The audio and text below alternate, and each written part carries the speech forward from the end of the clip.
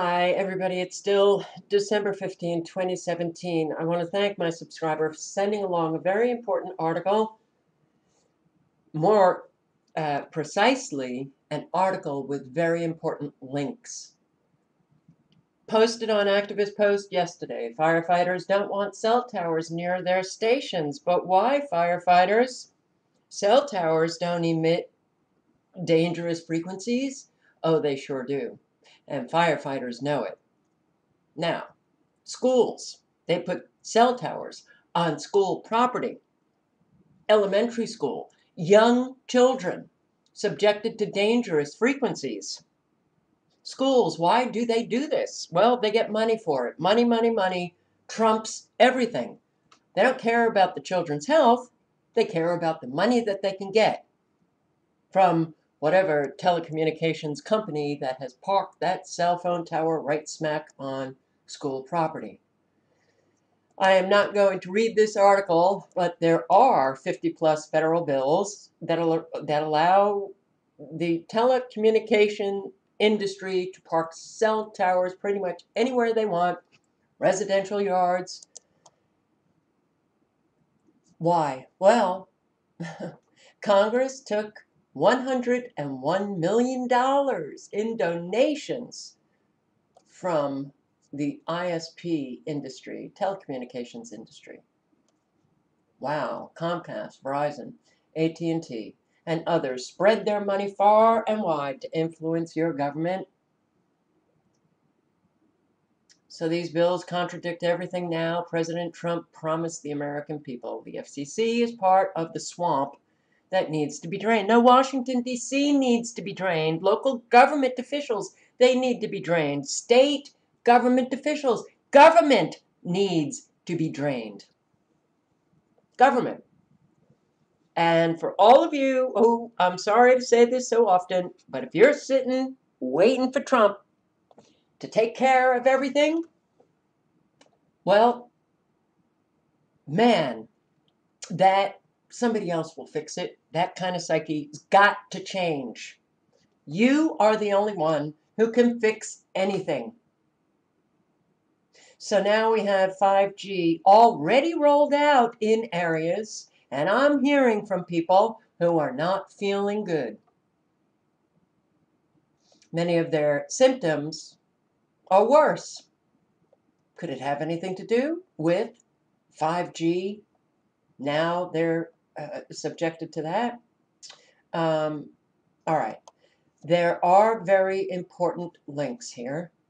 And one very important link is the International Association of Firefighters, Division of Occupational Health, Safety, and Medicine, their position on the health effects from radio frequency microwave radiation in fire department facilities from base stations for antennas and towers for the conduction of cell phone transmissions. Now, this is a very, very long, long, long, long, long document, but it is chock filled with facts and evidence, evidence that proves that these frequencies emitted from not only cell towers, not only Gwen towers, but from your cell phone, from every gadget that uh, people are walking around with, that kids are staring at, like iPods and iPads and whatever, TV screens, computer screens, and even our appliances. They're all emitting very dangerous frequencies that affect every cell in our body. All life, all life is affected by these frequencies. So I'm just going to read this list, this list on this page that is on the International Association of Firefighters. This is why they don't want cell towers parked anywhere near their fire stations. So, the studies have found the studies, and there are countless studies. So when somebody tells you they've done studies on these frequencies and they don't show that they're harmful to our health. Well, that is somebody that really needs to be, I don't know, slapped upside their head. At least told the telecommunication industry, those, that's where the studies are coming from. Do you think the telecommunications industry is going to put out honest, true studies? You think they're not going to manipulate the findings of those studies?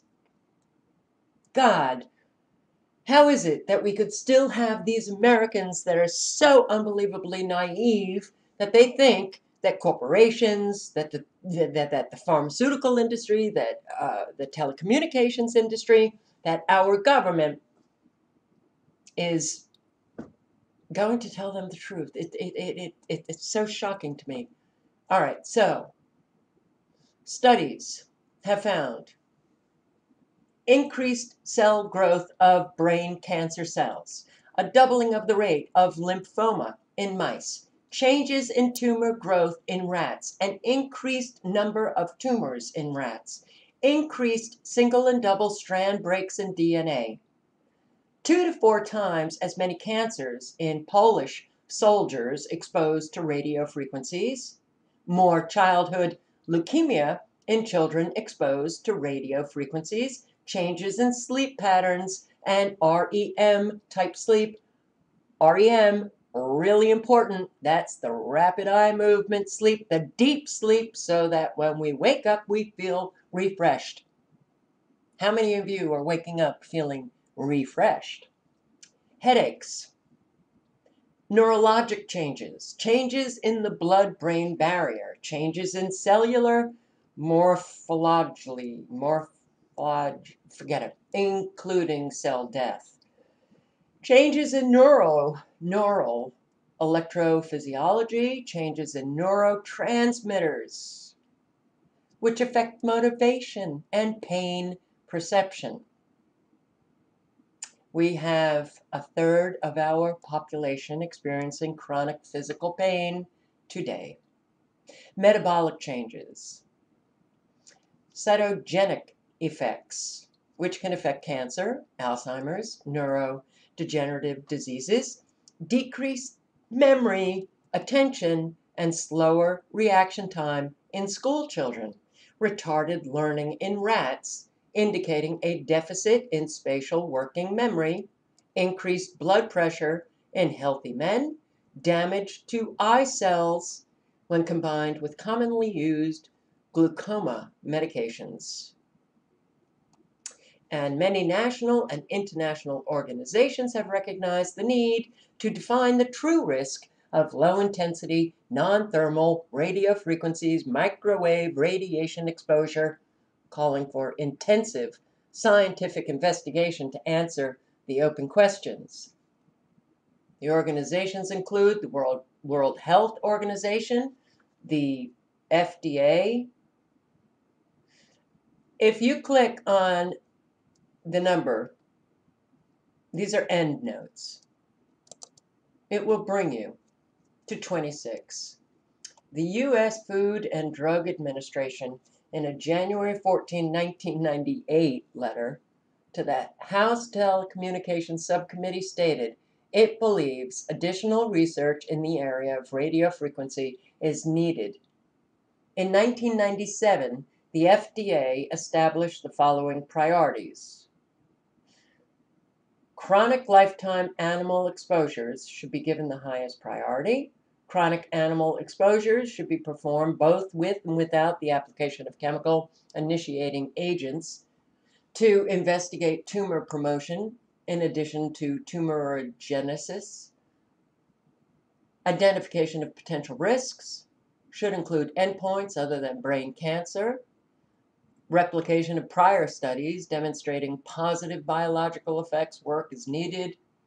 Uh, genetic toxicology studies should focus on single cell gel studies of DNA strand breakage.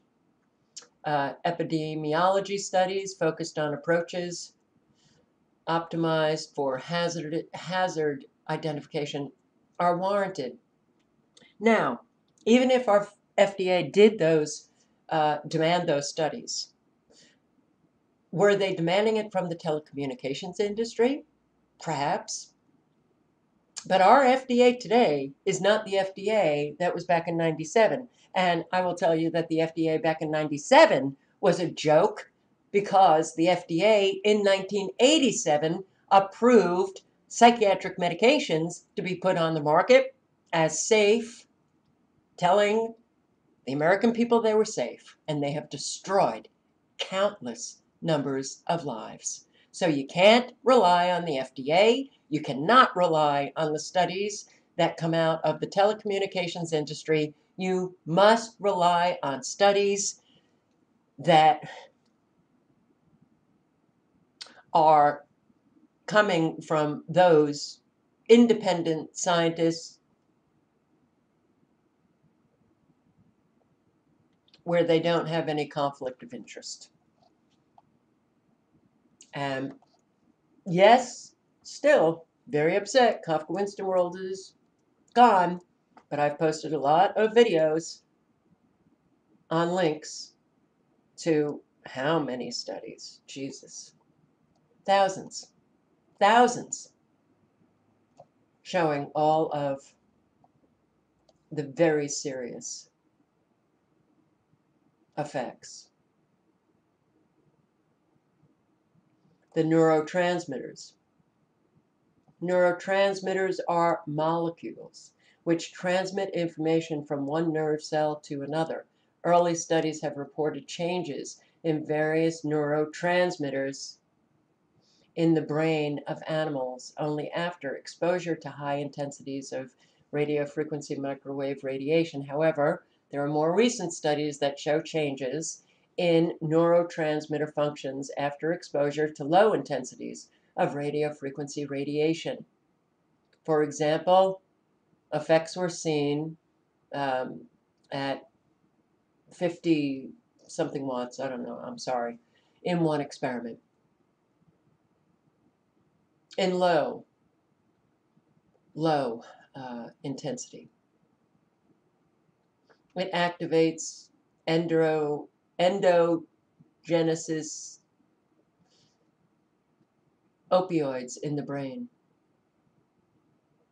Those are neurotransmitters with morphine-like properties and are involved in many important physiological and behavioral functions such as pain, perception, and motivation.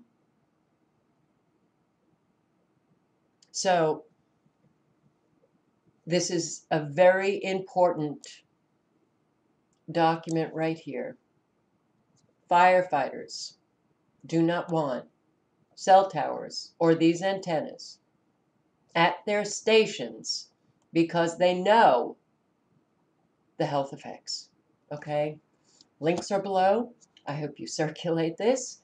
I am I am not alone because I am talking and corresponding with an awful lot of people who have uh, a myriad of symptoms related to the aerosol spraying, but also related to these frequencies. And yes, it is tragic horrifying that we have to live like this. Understand this. If you are asymptomatic, if you are feeling okay, don't think that you can stay that way. Every every life form on this planet is affected by these microwave electromagnetic frequencies every cell in your body is getting affected by these frequencies. The effects are cumulative, and everybody crosses the line at different times. When I first came on YouTube, I was already sensitive Many of my subscribers thought, well, Carol, now you're going too far with these, you know, talking about how dangerous the microwave frequencies are. Some of them have come back and said, I'm sorry, you were right. And guess what? They became sensitive. They started living the nightmare of struggling through every day. This is very serious, and I do hope that everybody circulates this article because it has an awful lot of information in cell tower conspiracy rescuing firefighters but not children Is the road to 5G paved with federal and state preemptions of local authority? Yes, it is.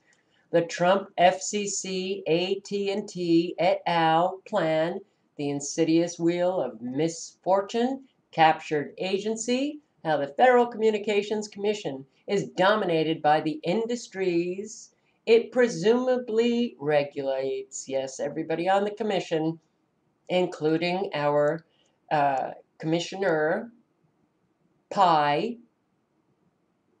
Pai came from Verizon. They're all ex telecommunication, either attorneys, lobbyists,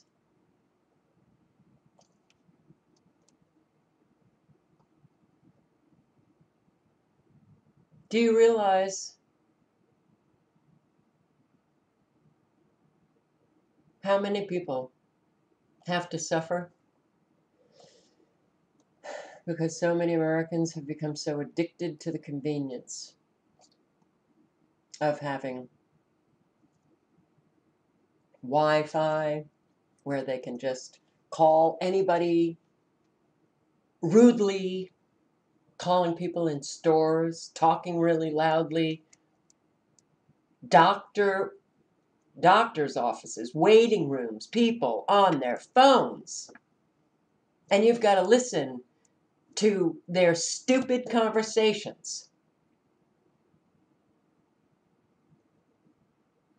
And the use of their cell phone, those frequencies are not just affecting them, it's affecting everyone within a three foot radius of them because that's how the frequencies span out when they start using their cell phone.